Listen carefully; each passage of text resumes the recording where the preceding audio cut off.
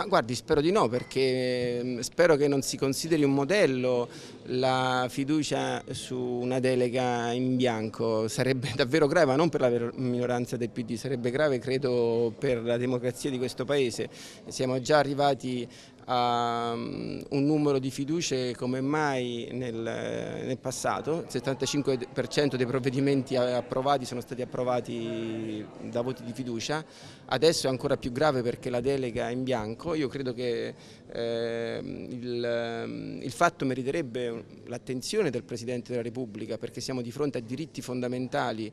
che vengono riscritti eh, da parte del governo con una delega assolutamente generica data dal Parlamento costretta a votare la fiducia. Quindi davvero non è il problema della minoranza del PD, il, il problema è per eh, il Parlamento e per la qualità della nostra democrazia.